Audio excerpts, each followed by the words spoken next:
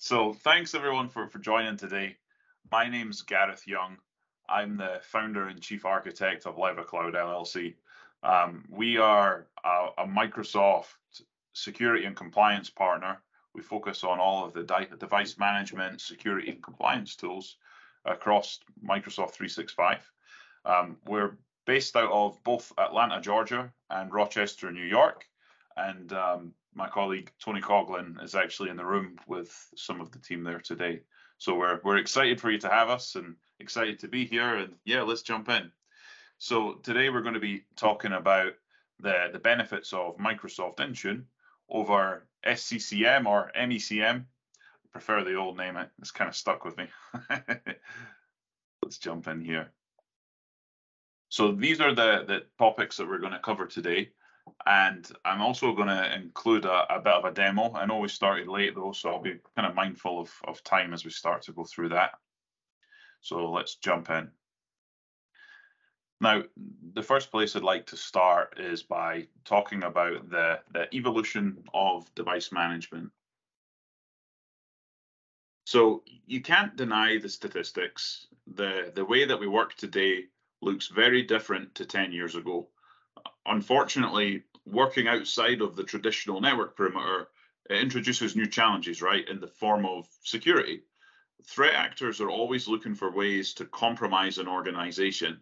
And whilst a large part of this presentation is about device management, we have to kind of go into that conversation with a lens to making sure that we put security at the forefront of whatever we do. Legacy device management tools like MECM can't really support the evolving world of hybrid work independently. We really need to evolve our approach to device management. Microsoft's investing a, a lot of money into the software applications and services to enable you to more easily and with less cost, modernize your device management and also increase its security posture as well. Let's let's just take a little moment here to understand Microsoft's current strategy around device management. So you might be using some legacy imaging solutions today, such as you know touching each device with a USB stick or you know, using a, a PXE boot over the network. These approaches are, are outdated now, and for the most part, they're, they're pretty time consuming. We're going to be talking about some new capabilities today that will reduce the time it takes you to get devices up and running. Um, and honestly, based on my experience with Intune, it can actually cut device preparation down by three hours per device. You know, when you think about all the different manual tasks and having to handhold users through setting up different things, um, and freeing up freeing up that kind of time per device is going to allow you to work on higher value tasks instead, right? And you know, for a lot of organizations that I work with, they want to get out of the business of of managing servers and ultimately their end goal is to move away from MECM. Now, I know that's not necessarily for everyone, but anytime we can shut down some servers and simplify an architecture, it's going to make your job easier. And you know, for me, I'm all about working smarter, not harder, right? um, and I guess the other piece on here, you know, Microsoft's done a really good job of building out the device management and security capabilities within Microsoft 365 so that they align with a zero trust architecture. Now, this enables us to effectively protect devices that are working outside of the network perimeter or you know accessing different apps data and files across different cloud applications. Um, you know maybe you have third party products providing endpoint protection today for example. Like that's okay as well. Microsoft does play well with those other vendors these days and you know, sometimes it can all come together to provide a complete solution, although you're going to get deeper integration, better visibility, and more control when you consolidate your tools into the Microsoft stack. So let's dive in and understand a bit more about Intune. So I'm going to try and cover these three areas over the next few slides.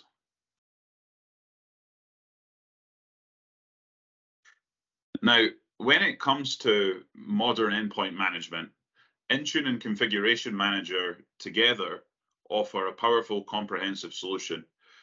When we align with a zero trust strategy using native tools like conditional access, every access request is fully authenticated, authorized, and encrypted before we grant access. You know, in, in today's world where remote work and BYOD policies are increasingly more common, it, it's crucial that we protect both our apps and our devices um, using the, the granular controls that are offered by Intune and Configuration Manager combined. You know, we can actually ensure that sensitive data stays secure um, to ensure like a resilient workplace. Now, co-management allows us to maximize our existing investments into MECM, and it does that by letting us basically perform a, a phased cloud transition um, so that some workloads can be managed by Intune while others remain under the control of Configuration Manager. Now, I mentioned conditional access it, actually gives us controls that make automated access decisions in real time. And those are based on conditions such as the user's identity, the device, the device's health, um, the location it's coming in from, and you know any sort of perceived sign-in risk with the the actual sign-in. And, and this is actually the heart of Microsoft's zero trust strategy. Now, let's not forget about the simplification of management workflows. So thanks to Intune's streamlined user interface and automated processes, tasks such as patch management or software distribution can be accomplished a lot more efficiently. And, and lastly, you know, it's essential to highlight that security measures extend to both managed and unmanaged devices and applications. So this ensures that, you know, we've got a secure environment regardless of whether a device is owned by the school, an employee, or even a student. Um, you know, this comprehensive security approach aligns well with the realities of modern work. Now, let's go into a little bit more detail um, on each of these three pillars.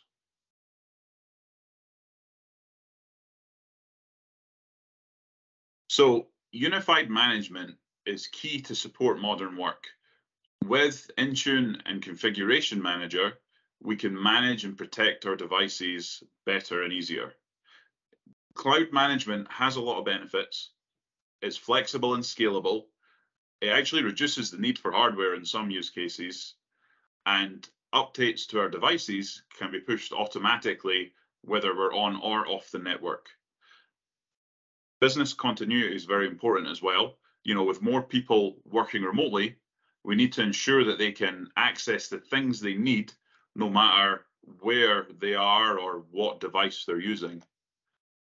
Protecting devices is very important. You know, we need to protect all of our devices and you know, Intune and Configuration Manager combined can can really do this, you know, as we start to move into this kind of modern way of hybrid working. Um, and the, the cool thing is we can actually manage both physical and virtual assets with these tools. Um, and let's kind of drill down and explore how it how it actually works. So tenant attach is a really useful feature. It connects our configuration manager on site to our cloud-based Intune management. And this is really beneficial because it links on-site devices to the cloud.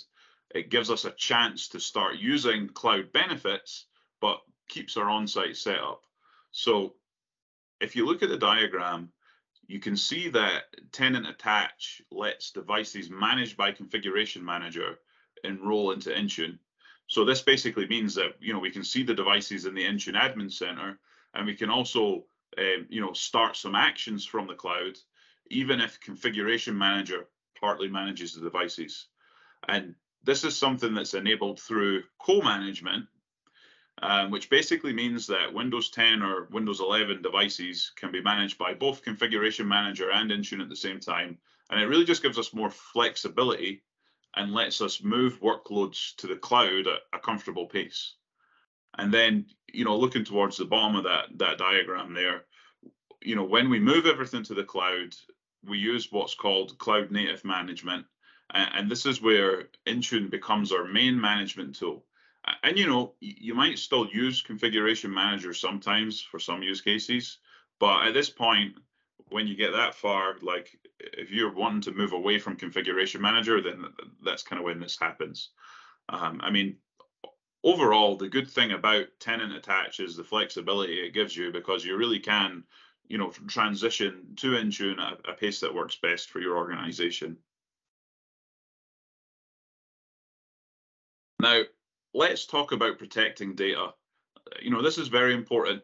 It doesn't matter if devices are managed or unmanaged, if they belong to the company or they're personal. You know, we can protect all of these devices. And we get a lot of extra protection because in some cases, we're using Microsoft 365's apps and services, right? You know, they're natively part of Windows. Um, if you have a user whose computer fails, you can reset it and they would have immediate access back to their data with OneDrive. Now, I know we've got a lot of Google Workspace folks in the room, um, and, and, it's kind of a similar model there, right? You know, as long as we're inserting the the appropriate Google Google Workspace stuff, Google Drive stuff in our deployment processes, then um, you know, kind of same thing applies really. Um, now, we also have different options with remote support. So You've got things like remote help in Intune, which we're going to be exploring more in a bit here, or Quick Assist, which is actually uh, built into Windows for remote support. And then my personal favorite, Windows Autopilot. So this is a way of provisioning devices over the air right out of the box. Um, and we're going to be talking about this more later. Now, I mentioned earlier that we can manage virtual desktops and virtual machines with Intune. So Intune actually integrates with Windows 365 and Azure Virtual Desktop. Um, you can actually provision your Windows 365 machines straight out of Intune. It's really seamless.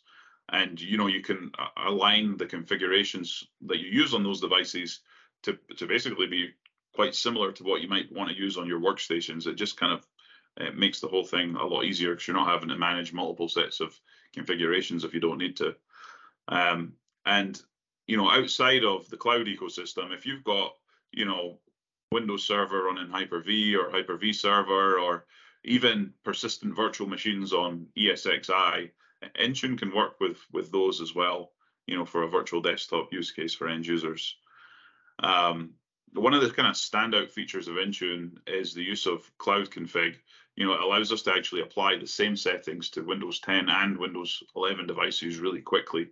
And, you know, having consistent standardized configurations is really crucial when you're managing a wide range of devices.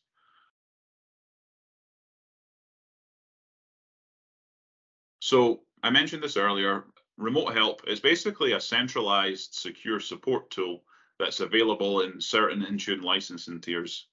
Um, and what's really great about remote help is the control that it gives administrators. They can determine who can assist which users and the level of permission granted. And, and that can be from view only to like full control. And you know, suppose an action needs administrative rights. In that case, the help desk can use their credentials to execute it um, and moreover, if the user's device isn't compliant with our you know, security control standards, the, the system integrated with Microsoft 365 actually alerts the help desk to that. Um, after every remote help session, a detailed report's generated, and this helps us track or have an audit trail of what assistance was provided, you know, the time and the device involved. Um, and I guess one of the important aspects of this capability is the, the sort of like trust building feature that it has. So before connecting, users and the help desk can see each other's details and things like the profile picture, you know, the name of the school, um, title, and the domain name. And you know, in a world where we're kind of getting to a place where threat actors are trying anything to spoof and sneak their way in, Um, that's, that's quite valuable actually. So let's now start to explore the the proactive protection capabilities within Intune. Now, regardless of whether data is being accessed from a managed or unmanaged device, we need to ensure that the appropriate guard rules are in place to, to protect it.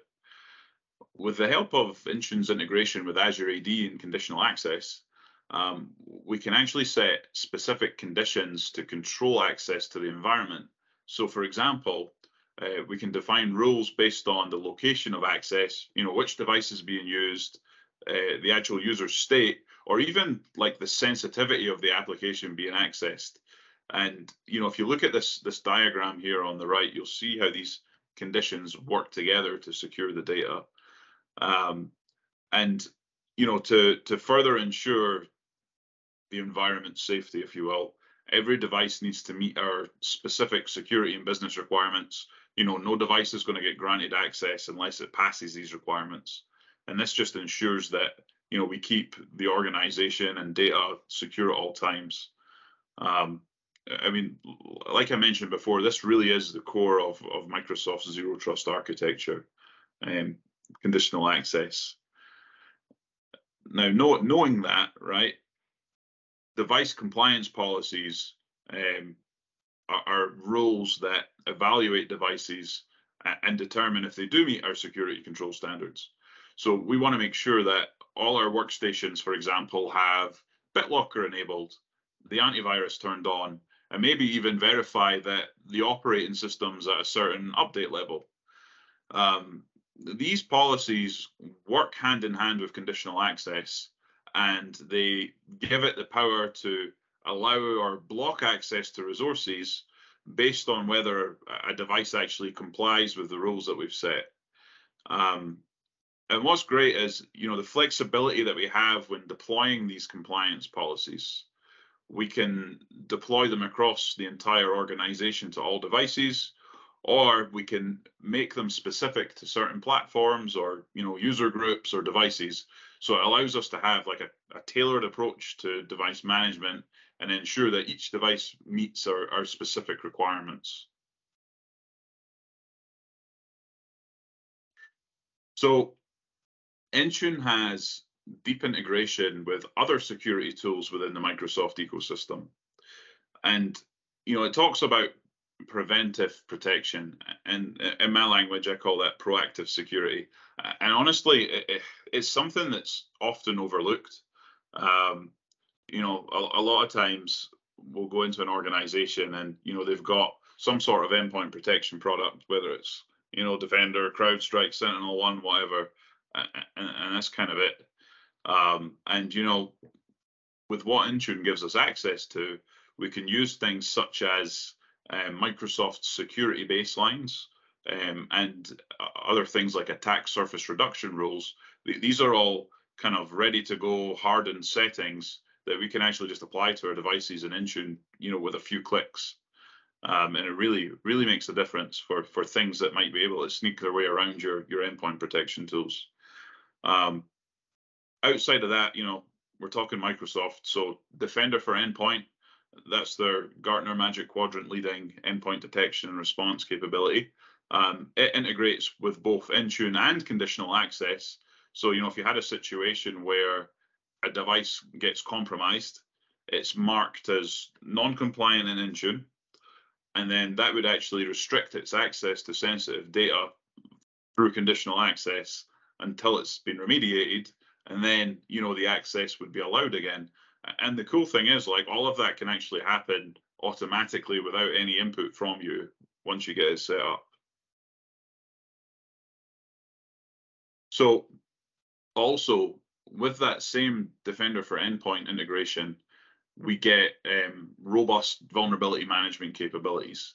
Um, and you know these actually integrate so that let, let's say for example you know you're looking at the vulnerability management dashboard and you see in there that there's a vulnerable version of chrome for example chrome browser on your pcs you know it's been marked as critical It's something you need to get sorted, you can actually hit a button that says request remediation and it will get passed through to a, a kind of ticket queue within Intune, a security tasks dashboard that folks can then pick up and, and work, right? They can fix it. And that can also integrate to your like primary ticketing system that you might use as well. Um, and, and it's really cool. I mean, these vulnerability management capabilities, they cover everything from like firmware firmware level vulnerabilities. So if anyone remembers the the Spectre and Meltdown kind of CPU BIOS stuff that happened a few years back, um, you know, they'll pick up on operating system, um, network misconfigurations, right the way through to even, you know, as I mentioned, software updates for third-party applications. Um, and I guess one thing to note, um, you know, if you ended up with like bundled licensing where you have access to Defender, but you're using a third-party endpoint protection product, um, I have a lot of customers that just stick Defender alongside that, and it just kind of sits there passively and only does kind of the vulnerability management side of things. Um, so quite quite a good value add there. So now I'm going to kind of drill into some of the different capabilities that that I think will uh, excite you the most. So the, the, really, this is the party piece of Intune for me, anyway. You know, it, it, it's time to get out of the imaging game. Um, if you've ever worked with an MDM for deploying mobile phones, you'll be familiar with you know deploying applications and settings over the the air essentially when the user turns on the device for the first time and, and this is exactly how windows autopilot actually works. Um, so when you buy the devices from your, your vendor um, they'll actually register them and push them into your your office 365 tenant so that they're there. Um, and then you know after you've kind of done all the configuration in the tenant when the user receives the device and turns it on for the first time, um, it'll get a deployment profile right from the out of box experience. So that thing that kind of first comes up as soon as you turn it on, um, it stops them from signing into it with like a, you know, an account that's not their Office 365 account. Um, and you know, once they authenticate, the device just automatically starts going through the process of provisioning over the air all the different applications and settings to get up and running quickly. Um, and I'm going to be demoing this capability to you today here as well. Um, so yeah, we'll get into that here shortly. Now, some of you might use MECM to package and deploy applications today. Um, that function can be migrated to Intune, or if you're not doing that yet, then you know, great, you can start with a clean slate here. Um, we can actually push applications from any vendor uh, whether it's you know stuff out of the Windows Store, an EXE, an MSI, Apple iTunes Store if we're talking mobile. Um, you know, it's not a problem. We can even deploy the Office applications without the need for the Office deployment toolkit. And I'm sure some of you have had the pleasure of using that tool over the years.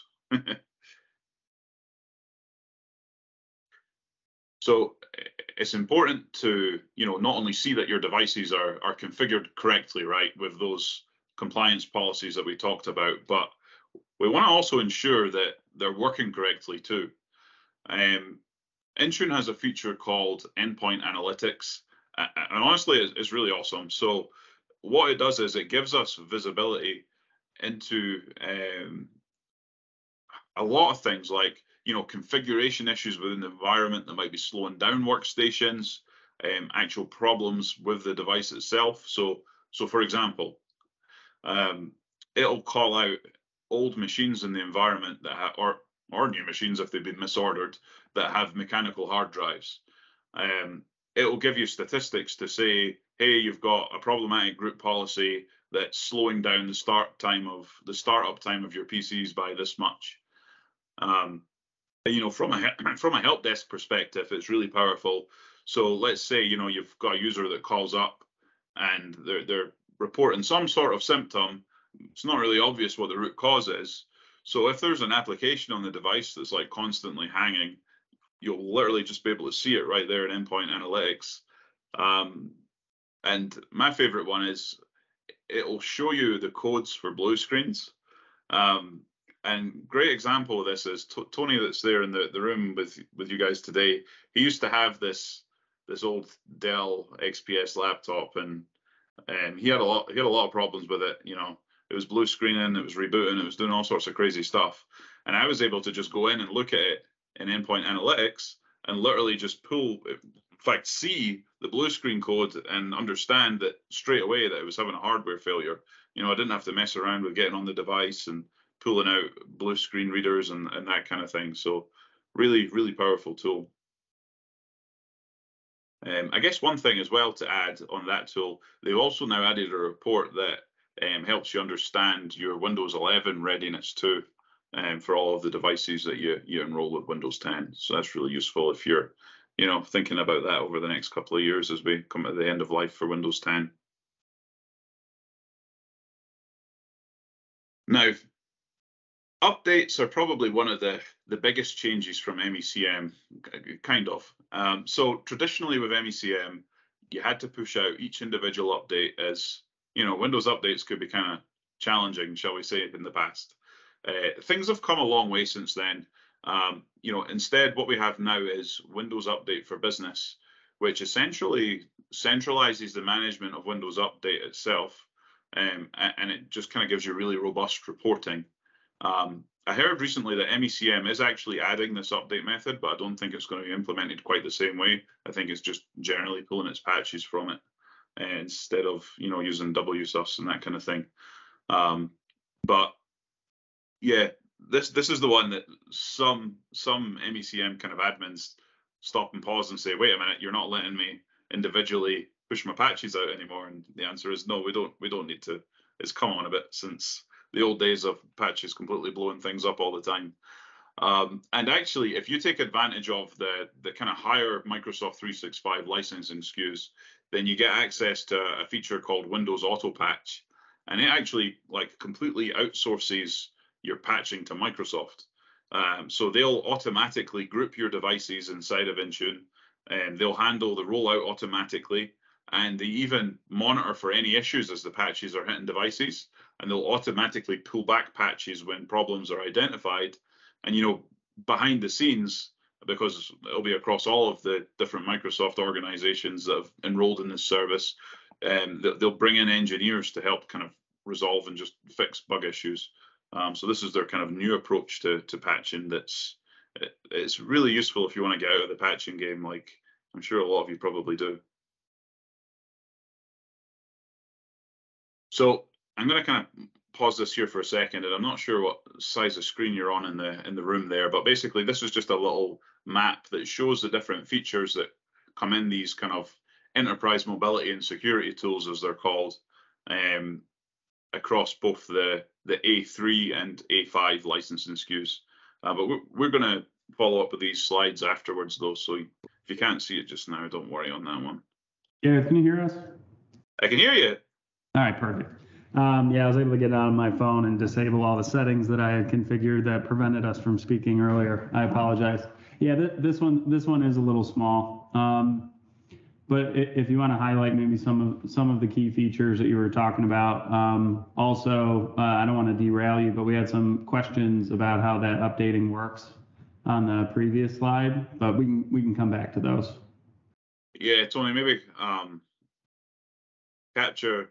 I'll I'll see if I can try and show. I haven't really got it turned on in the demo that one. Um, yeah, we can come back to that towards the end. Um, okay. And I guess you know, since folks are struggling to see this, um, I guess the key things I'd kind of shout out between the A3 and the A5. So a lot of the stuff that I've mentioned, you know, your compliance policies, um, basic Windows Update for Business, um, conditional access, you know, all that kind of stuff. That that is included in the A3. Um, the A5 just adds on the the more advanced security tools um, like Defender for Endpoint, the vulnerability management, that, that kind of thing.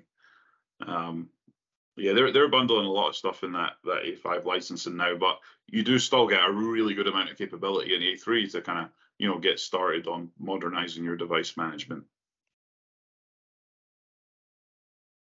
Now, I guess in the theme of comparing things, um, you know, now that we've learned a little bit here about Intune, um, let, us just sort of take a step back and I'll, I'll, try and show you side by side, you know, a comparison of um, SCCM and Intune when you add it.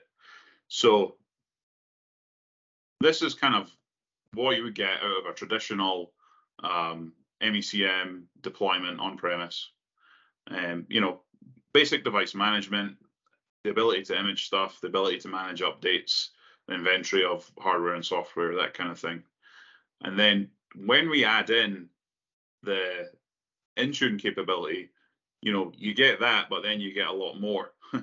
um, and the unified endpoint management, the, the ability to bring all your devices into the one place, you know, really, regardless of platform, I guess excluding Chromebook because that's not all the way there yet. But for all the other, you know, kind of mobile and desktop platforms, I mean, super powerful, and the the additive security capabilities as well with things like conditional access and that kind of stuff.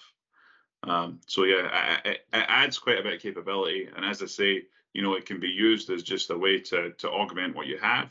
You know, it can be a stepping stone to get out of the server business kind of thing, or you've got a lot of options there. Um, so I, think what I'll do now is I'm going to try and jump into a demo here. Um, and we're we're recording this as well, so I'm going to try and describe as we're going through, since some folks might not be able to see the screen very well. Um, and then you know you can kind of watch this back later and ask any questions as well when we we get to that point. Um, so let me stop sharing this presentation for a moment. And I'm going to try, first of all, share this browser here. Um, so Tony, I'll look for your thumbs up if you can see this okay. You don't need to talk, it's fine. I can kind of see you in the bottom right hand corner of my screen there. Um, okay, so um, this is Microsoft Intune. Um, and what we're going to do in this little demo here is go through the process of trying to provision an autopilot device. I've got a Windows 11 virtual machine kind of primed and ready. And I'm going to show you like actually doing some of these different configurations that I've that I've talked about. Um, so first of all, just to sort of um, just to show you where we're starting here. If I go to Windows and Windows Enrollment, underneath Windows Autopilot Deployment Program, I'm going to click into Devices.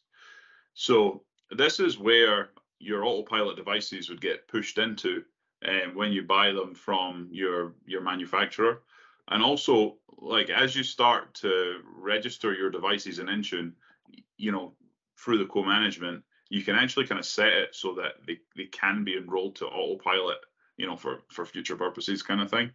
Um, but what what I've done here is I've just manually um, added this virtual machine device so that it's registered with the autopilot service.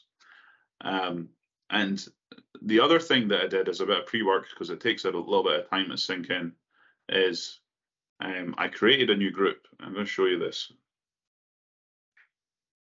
So, oh no, not that one.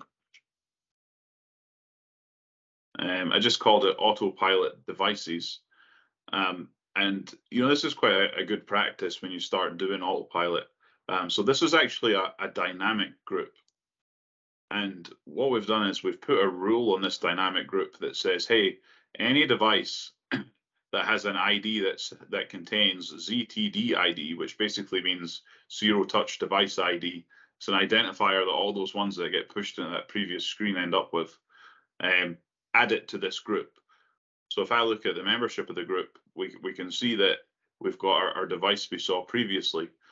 And what happens is after we actually enroll it, this name will get updated um, and it'll be like a real Azure AD joined machine. Um, and you know, there's a, a few different ways to kind of approach this stuff, but um, I just want to sort of give you an idea, and then you know we can take questions at the end for hey, how does hybrid Azure AD join fit into this and stuff like that. Um, okay, so devices in there already. Um, so typically at that point, what I would do is go into my enroll devices again, and I would create a, a, an autopilot deployment profile. Um, and basically what this does is it tells the the device what what to do, right? When it's going through the out of box experience and it, and it pulls this down from Intune. Um, and in this case, I've just set it up to keep it real simple for this demo. The device will be Azure AD joined. Um, I told it I want it to be an administrator account when I'm when I actually get onto it, but um, the default for this is standard user. Um, I just did that, you know, for the demo in case I want to do anything on that device later. And then I gave it a naming convention as well. Um, so like a company name with a four-digit random number at the end of it. Um, and we assigned that to our autopilot devices group. Um, so I did that in advance because it actually does take like 5, 10, 15 minutes for that to sort of sink in. Um, and nobody's got time to sit and watch that that doing its thing at this end here. Uh, the one other thing that I did is I set this thing called the enrollment status page. And we're actually going to see that in action when when we go through autopilot on this virtual machine here. So the basically what this is is a really cool feature. So for those of you that have ever, you know, built out task sequences and stuff like that over the years, you know, sometimes what happens is you need to do stuff when the device is actually in Windows, deploying certain things and whatever. And you can kind of end up with a situation where, you know, the device is at the desktop and the user's like clicking X on everything um, to try and get on with whatever they're wanting to do. Um, and that's why you know that model typically doesn't work for a sort of self-service getting up and running model.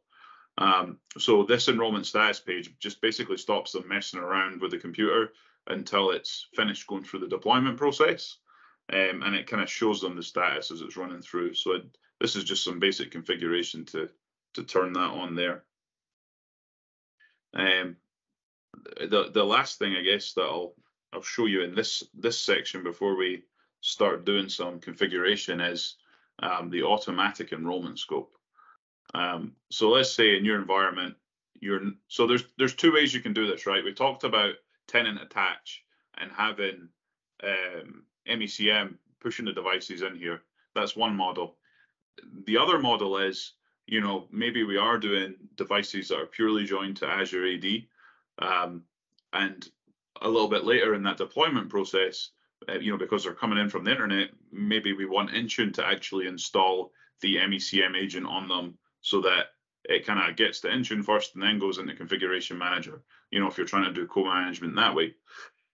Um, so whatever way you go with that, there's this enrollment scope option here, and basically what we're saying is, hey, um, for anything that comes in from um, Azure Active Directory or anything that comes into Azure Active Directory, allow it to automatically um, enroll into Intune.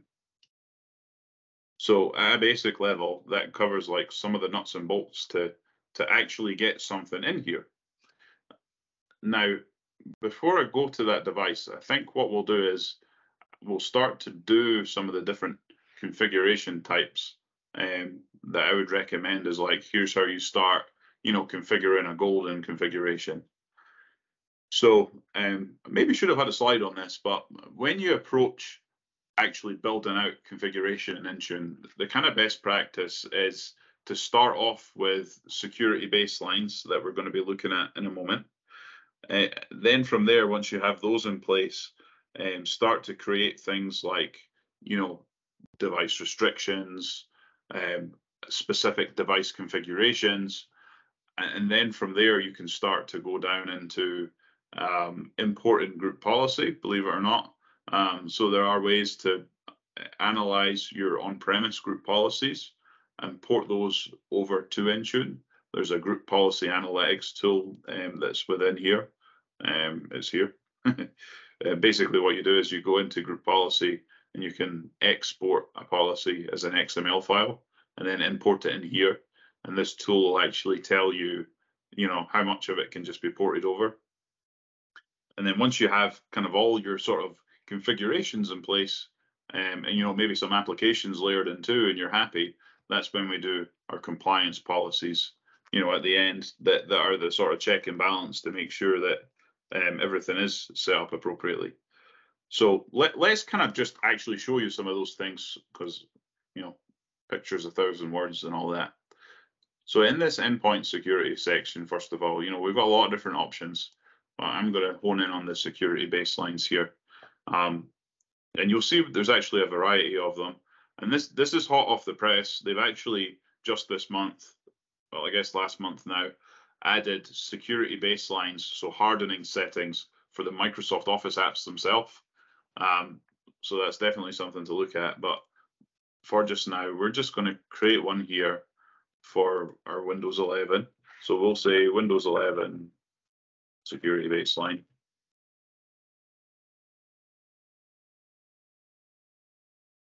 And there's a lot of different things that are in here that are the kind of best practice hardening settings. Now, most of the time you can get away with just turning all of them on without a whole lot of um, fallout. But in our education customers, there are usually a couple of things. Well, one one major thing actually that I usually tell them to look out for. There is this thing here called DMA guard, and basically what it does is if you have any like obscure pieces of equipment, so I'm thinking about stuff in labs that are maybe used for hardware development or you know industrial applications or just just any kind of obscure pieces of hardware that that plug in my USB and likely have interesting drivers, it's very likely that this setting is going to block them. Um, so that one I would maybe put to not configured if you have a scenario like that. The other thing to look out for, and I'm going to have to say this maybe, um, is firewall stuff. If you're ever applying these security baselines to a virtual machine, you're going to want to make sure that you turn off the block all the inbound connections option here. Otherwise, you're not going to be able to actually remote desktop into it. Um, now, best practice would be then to kind of go on and probably tune firewall rules to, you know, make it somewhat restrictive and just allow the stuff that's needed, like 3389 and whatever else for your remote desktop. Um, but yeah, lo lots of things in here. Um, I'm actually going to turn off BitLocker too because it's a virtual machine and doesn't have it. Um, so scope tags, just a quick word on those. You're going to see them all over the place. So this is part of Intune's role-based access control. Um, so let's imagine uh, you're a you know a larger school or university, and you've got a lot of departments that maybe have um, IT folks in them that want to manage their own stuff. Um, so essentially, with scope tags, you could have a tag for each of those different sort of departments within the school, and the tag would be assigned to a group, and the group would also be assigned an admin permission. And the idea is that you use the kind of overarching service manager, if you like, would be able to tag devices that are going to be, you know, owned by that department. And then the individual in that department, when they come in here, because they're in the group with the tag associated with it, would only be able to see their stuff. Um, so, you know, some folks might have a use case for that. If you don't, then just just ignore it. And then on the ass assignment side of things, you'll see that we always have included groups and excluded groups. Um, in this case, we're going to include an Intune users group that I've put some test users in. Um, but you know, if you had a group of a lot of folks in it, um, you could pick the the excluded groups option just to kind of you know pull the executives out of the big group or whatever it is. And then we can review there and just kind of create. Okay, so we've got our security baseline created. Um, so the next thing that we'll do is I'll show you some configuration profiles. So I'm going to come back into Windows. I'm going to go to configuration profiles. And a couple of interesting things to note here. Um, so we're about to do this, but uh, eagle-eyed folks might notice there's a, a, tab here that says import ADMX. Um, so in addition to like being able to port over group policy settings, if you've got a group policy that's actually been supplied to you by a vendor, so I think the last one of these I did was maybe like a Cisco one or something. Cisco had a custom ADMX file that traditionally you would import into group policy on your domain controllers, and then you'd be able to set certain Cisco settings or whatever. So this basically just gives you the ability to import those whole uh, custom, you know, third-party group policy files into Intune and use them. Um, but yeah, for us, we're coming in here, we're selecting a Windows 10 and later profile, and we're going to jump into settings templates. Lots of different templates to pick from. Um, and for this example, I'm going to use a device restrictions one. So what they've done is they basically um, tried to group together the settings into kind of logical templates, if you will, so that you know device restrictions is going to have things like uh, blocking USB access and, and stuff like that. Um, so if I just say Windows 11 device restrictions, um, and again, you know, lots of different things to to kind of um, configure here. Um, and just to show you, you know, it can be things from like, hey, I want to lock and set what the start menu layout looks like, all the way down to things like, um, let me see, I want to block Cortana because she's kind of annoying. I think we're winning on that one though, because I saw that they're actually going to be removing it in the next Windows update. They're killing it off. Um, or you know, maybe I want to block the ability for a user to end processes from the task manager. I mean, there's a lot of granularity that you can get into here, even down to like, you know, battery settings and, um, you know, printers, all sorts of stuff. You know, what what happens when the user is at the lock screen. Um, you know, lots of different kind of options in here, but we'll we'll kind of keep it simple just now, I think.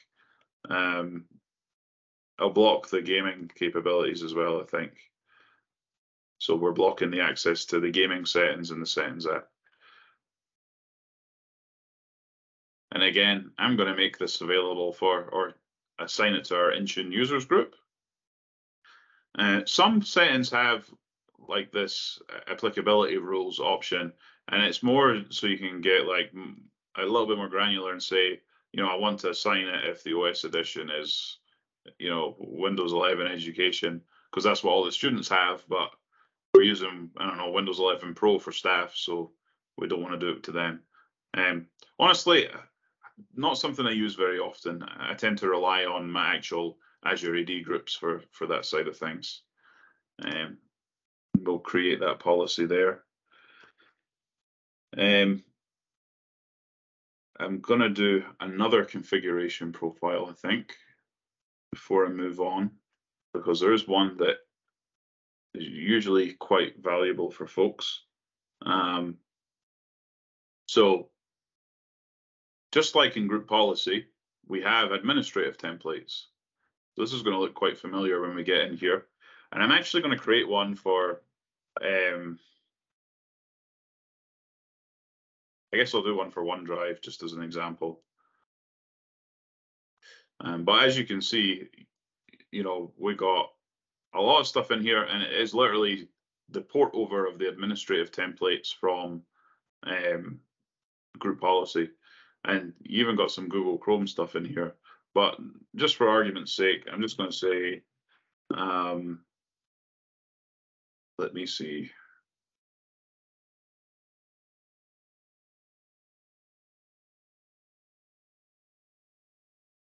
I'm going to go with silently sign in users.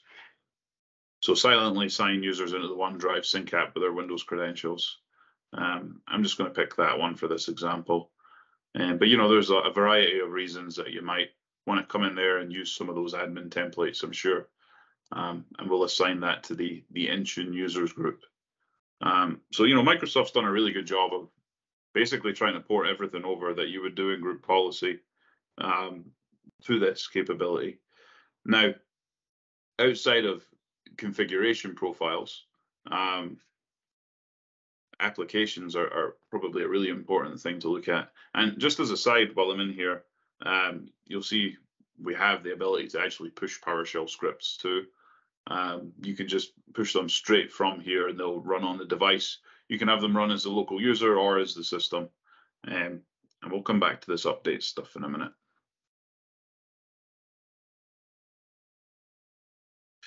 Okay, so when it comes to application deployment, you know, we support a few different platforms here.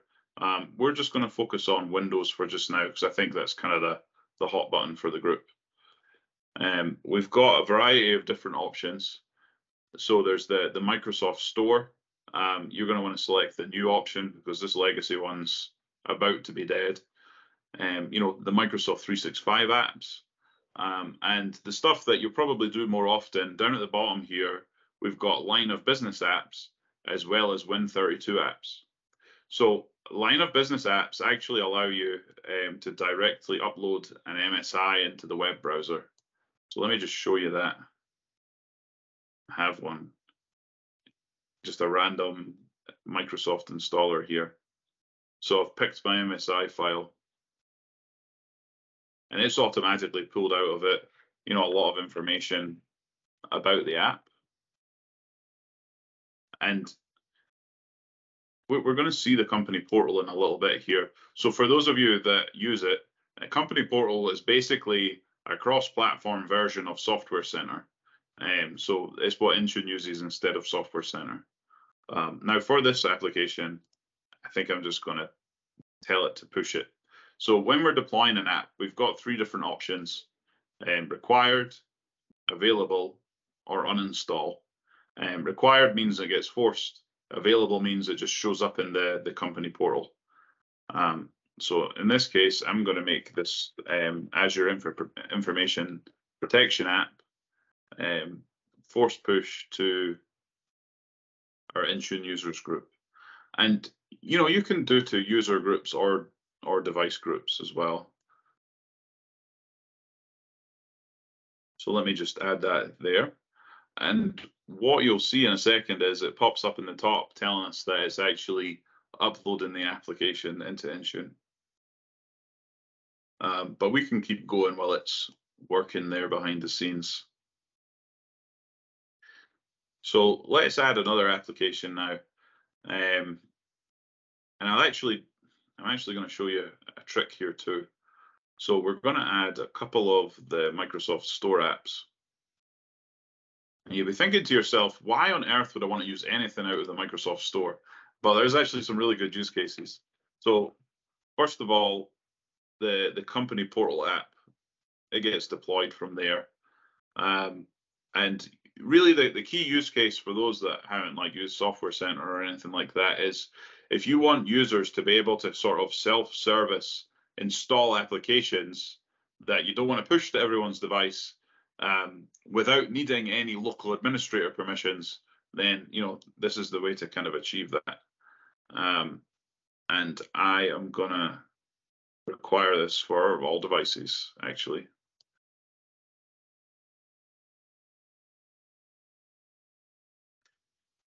Now, I know I'm kind of going a little bit quicker. I'm just conscious of time here. Um, I'm going to now show you another use for the Microsoft Store stuff that's kind of like one of my life hacks. So if we go back to Microsoft Store app, and let's this time select Xbox Game Bar. This could, and we could be searching for Paint 3D, we could be searching for any of those kind of bloatware applications that that tend to come on Windows um, that usually someone has to manage a PowerShell script to try and get rid of them. this is just a, an easy button. So Xbox Game Bar, I want that to be uninstalled on all devices, and and that's it. There's no managing PowerShell scripts or anything like that. It just it just kind of makes that a lot easier. Um, so that's my usual trick that I use with a lot of customers these days. Um, so other things to note. We've looked at MSIs, we've looked at the store apps. Um, what about what about things that aren't an MSI? You know, some of you are going to have uh, standalone executables that you want to package in here. You know, maybe you've got um, applications that need things customized when they're installed, like registry changes, you know, files and folders edited, whatever it is. Um, so the the Win32 option is the one to go for in that scenario. And the way that that one works is Microsoft has this little packaging tool. It's just a little command line tool. And essentially what you do is you, you put all the files for the application in, you know, a folder locally on your PC, a working folder. Um, and you know, if if you want to do a whole bunch of customization when this thing installs, you can actually create a, a batch script or a PowerShell script and stick it in the same folder and then this tool will package it all together as a .intunewin file. And then you can just take that and upload it through that Win32 option in here. And as you're kind of, you know, clicking through the, the wizard for that, because I don't really have an example, um, it will ask you for things like, what is the installation command? You know, and that's when you can tell it to call your PowerShell or your batch script or, or just an executable with a bunch of switches on it, right? And then, you know, it'll ask you for the uninstall command. It'll ask you to um, how how it should detect the detection rules to tell whether it's installed. And um, so, uh, you know, all those kind of options to really support you packaging up everything. I mean, I've even done this for packaging up VPN profiles to push out and just had a script that copies them to the appropriate place on the hard drive. So you can get quite creative with this stuff. Um, it's definitely quite powerful. So I'm going to show just a few more configurations and then we're actually going to flip to this virtual machine and see if through the magic of software it works for us. Because you know how these demos can go sometimes, right? But um, I've got hope. so when I think about some of the the other security centric options, you know, one of the things that's getting a lot of traction at the moment is passwordless. And you know, we're seeing a lot of devices that are are being delivered with Windows Hello enabled uh, cameras built into them. So really simple. Um, we can create a profile either in here or if we wanted it to be something that was, you know, for individual users, there is actually an option inside of the configuration profiles too, where we can say, hey, I want to enable it or disable it. Um, and, you know, it then gives you a lot of granular control around um, the PIN number because generally the PIN number is used as a backup for Windows Hello. Um, you know, some folks I work with, they want it completely off. They don't want anything to do with it. Others do want to use it. Um, the thing I would say to note is if you decide to use Windows Hello for Business, um, there is actually a bit of an infrastructure component for it. So if you've got folks inside the local network, um, you know, that are using this feature, you, you need to, there's like some configuration required on-prem. Otherwise, the domain controllers kind of get in the way of the authentication and it can cause this kind of like continual pop-up asking for user credentials. Um, so that's just something to keep in mind. And you know, if anyone wants to know more about that, let us know at the end, and we can send out um, an article that explains more on that one. Um, so outside of that, we're going to run across and look at those update rings that we skipped over a minute ago. So update rings uh, for Windows 10, Windows 11. This is basically the um, Windows update for business that I mentioned. If it'll load, hang on. Here we go. Now, the kind of best practice with this is, in my mind, to have two of these at least. One that's like getting the updates as you know as soon as they're released um, and then a second one that's maybe got like a 30 day lag um, so that you've got time to kind of troubleshoot any issues and just test everything out before it goes to to the mass population kind of thing. Uh, but i'm just going to create one for the demonstration here.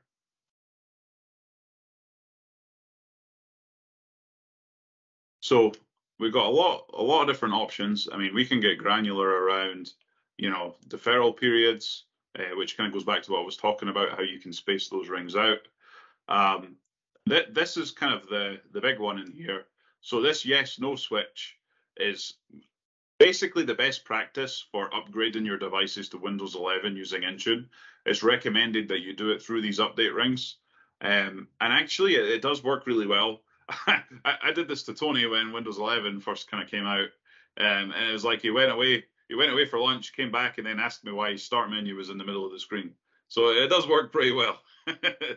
um, you know, beyond that too, we can control that that sort of maintenance window when we want the updates to to apply, like the the level of notification the user gets, and even deadline settings to say, you know, do we want to give them a grace period? How long before we just automatically force a reboot? Because you always get that one user that like stretches out as far as they can and never reboots their machine. But you know, we're patching vulnerabilities, so we have to kind of draw a line in the sand somewhere. Um, so yeah, you know, lots of customization there, and then you know you can choose to assign again assign it to certain groups and and exclude others on that one. Um, and I guess the last piece of configuration I'm going to show you before we flip across to our device is the compliance policies that I mentioned earlier. So we're going to create a compliance policy for our Windows 10 and later devices. And I'm not going to name it after myself. I'm going to call it Windows 11 compliance policy. So quite a few different options in here, um, as you can see. And you'll notice that there's even some tiebacks to configuration manager compliance if you if you ever used that. Um, but yeah, typically you're going to want to think about at the minimum requiring BitLocker. Um, if your devices have it, secure boot, although it's not unheard of for that to be disabled on stuff when it's delivered from the factory. But basically, this is a really good pre-boot security feature that stops malware from like attaching itself, um, you know, like rootkits from attaching the, you know, themselves to some of those pre-boot areas on the device. Um, and like other things you might want to apply as well. Um, you know, make sure the firewall's on, the TPM's enabled, antivirus, anti-spyware, that kind of thing. Um, now, I have one education customer down here in Atlanta who wanted to be very specific and look for things like ensure Qualys agents installed on the device and um, that we have a terms of use set for the login screen and stuff like that. So you can actually build custom compliance scripts uh, to look for literally anything you want on the device. So sky's kind of the limit with the configuration of this stuff. Um, as for the actions for non-compliance, you can actually give them a grace period. So, you know, let's say we wanted to give them 30 days to fix their stuff, right? And maybe we want to immediately send an email to the user. Um, and I don't know that I've got any message templates set in this tenant, uh, but there's another section where you can build like different templates for messaging for this purpose. Um, and, you know, it could be instructions for what they have to do to make their device compliant and you know have that countdown until they hit the 30 days when it goes non-compliant. Um, or you know you can just have it do it immediately. That's an option too. Um, and again this can be applied to devices it can be applied to users. We've got the flexibility to go both ways there. Um, and of course you know we can do it for for all the different sort of platforms that are supported. Um, now, I, am going to point to it, but you'll notice Chrome OS has a preview option on here. I think at the moment, um, a lot of it's around the compliance side of things. Um, but Microsoft is, I guess, starting to build that because they're trying to unify this for everyone. But um, yeah, maybe something to explore if you're if you're curious on that one. Um, okay, so we've set up a bunch of stuff. Let's now um, see see if we can see some of it in action. So let me stop sharing this screen and I'm going to start sharing um, another view here.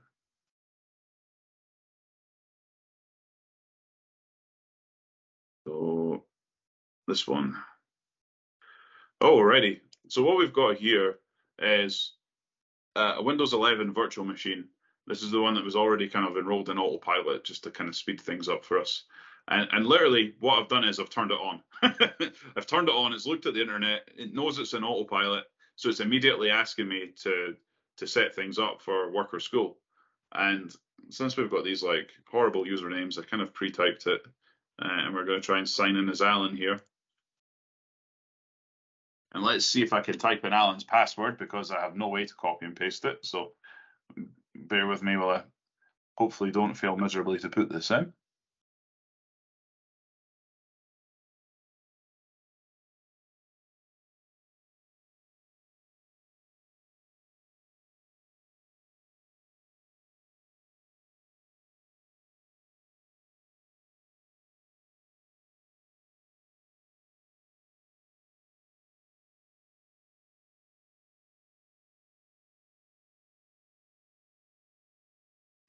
Be signing again. I have left this machine sitting like this for a good hour, so we might have to restart it.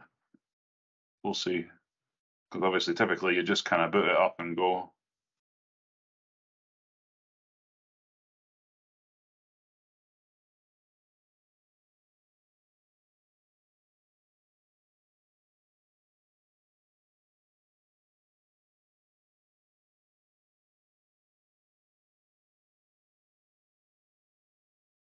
There we go. Yeah, I've been sitting for like quite a while before we started. Um, so in theory, what we're doing now is we've signed in, it's doing its authentication, and it's starting to kind of actually look at those different things that are scoped to the Intune users group that Alan is a part of. Um, and we'll, we won't stare at this for too long. We might come back to it because I've got some more slides to to kind of talk through on, you know, best practices for doing this stuff, but we'll give it a second here and see if it goes to the deployment status page or not. Um, and if not, we'll we'll pivot back to it towards the end to see the the finished result. And as all things do in the world of live demos, um, we got an error. Not sure why that is. I may have to look on the test tenant and see. Um, think, think, think. Let me try signing in once more, and then I'll keep an eye on it on the side.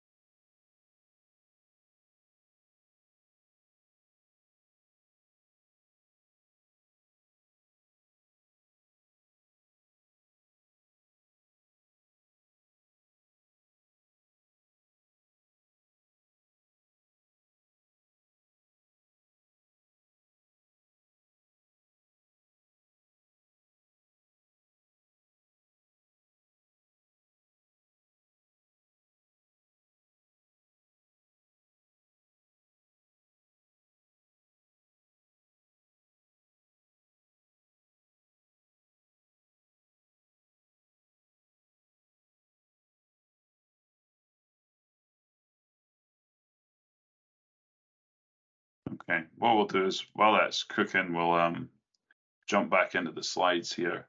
I'll keep an eye on it on the side. So let me quickly reshare that.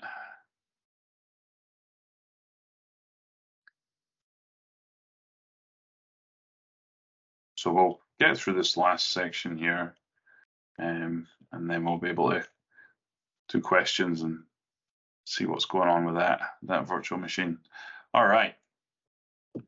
So um, hopefully that at least gave you kind of a, a taste of you know how this Intune stuff can come together. Let's now kind of walk through some of the, the best practices for for deploying Intune. Now, understanding you know current state first of all is very important. You know you need to to think about how you would structure your MDM migration. Um, you know, do you want to build it out build out policies and apps that maybe align with different departments or you know how, how do you want that to look? Um, and then is your goal to simply augment your existing ME, MECM infrastructure so that you can you know add these modern management capabilities? Or is is co-management like a, an intermediate step for you so that you can go to a full migration?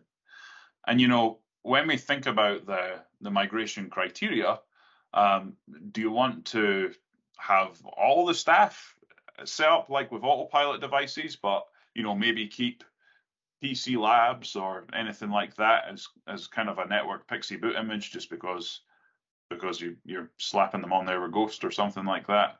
Uh, and and then what about your mobile devices, right? Um, and you know beyond that, like from a process perspective, um, you know can you simply just onboard your existing devices through tenant attach? Or if you're not really using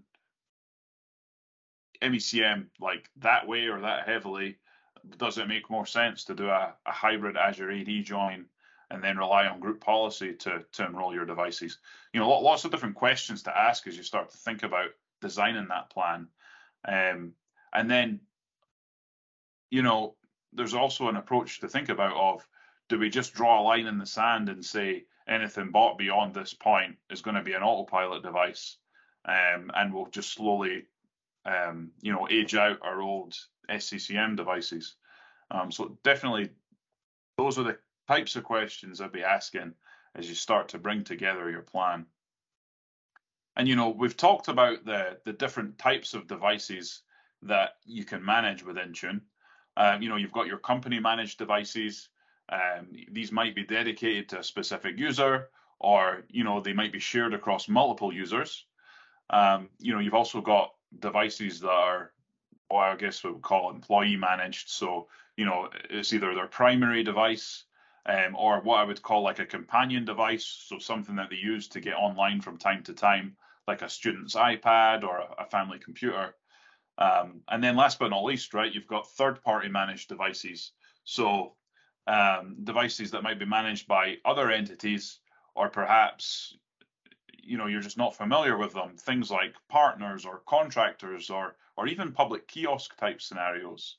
Um, you know big thing to note is that intune can handle all of those use cases. So this is just a kind of view that shows the recommended approach for migrating any android devices into intune. Um, and you know, for most use cases, it's just a case of unenrolling from the old MDM and re-enrolling into Intune. And this is the same view for Apple. So ADE is the, the automated device enrollment capability that integrates with Intune from Apple School Manager.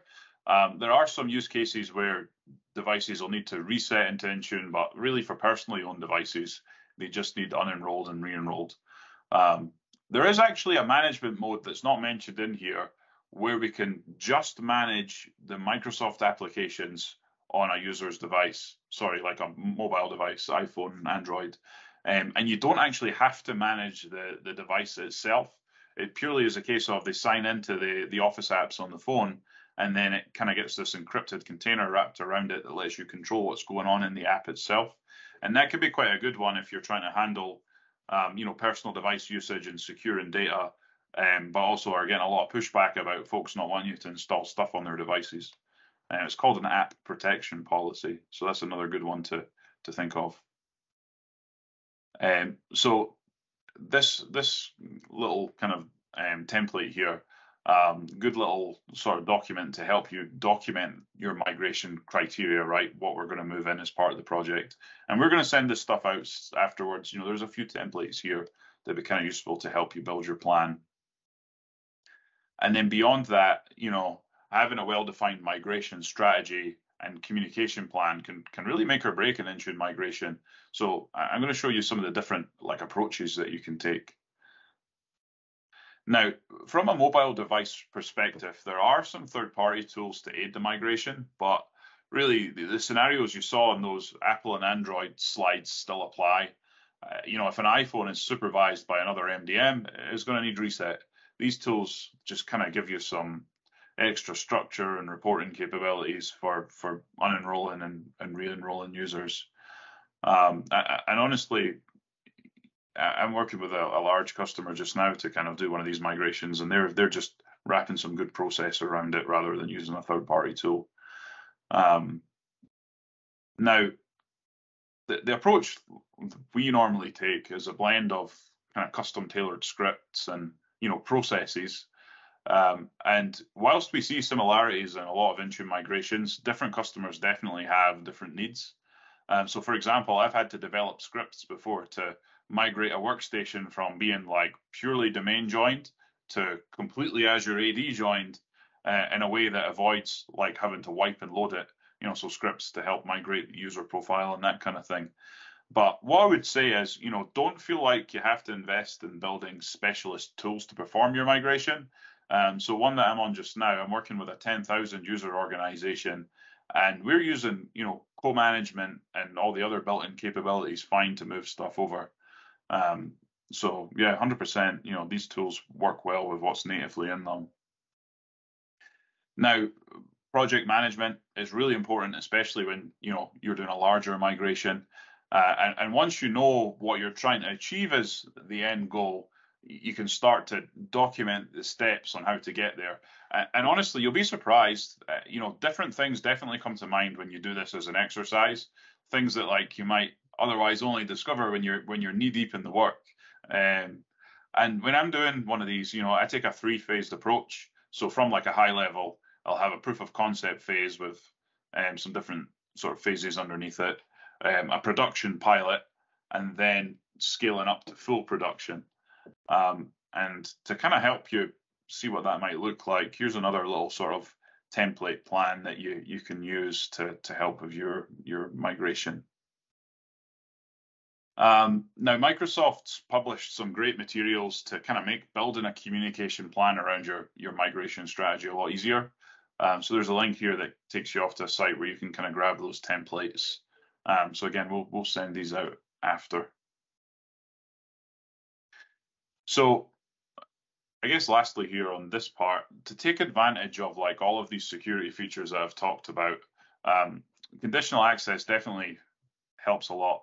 So two different use cases from mobile devices, whether or not you're fully managing them in Intune, in Intune, um, you know, I recommend standardizing your users as far as you can with the Office 365 apps um, like you know Outlook instead of Apple Mail, for example, it just gives you much more control over the the sensitive data on the device. Uh, so, for example, it ensures that you know someone can't copy sensitive HR or finance information from Outlook into WhatsApp, right? Um, and this will also help you be compliant with a lot of the the new NIST requirements that are coming down from the government. Um, and Additionally, you know, conditional access can help drive adoption by blocking access to Windows PCs that are not managed by Intune. And that, I guess, in itself can solve a few different problems. um, and to kind of wrap it up here, um, the last area I'd recommend tackling is hands-on training to actually help jumpstart your proof of concept.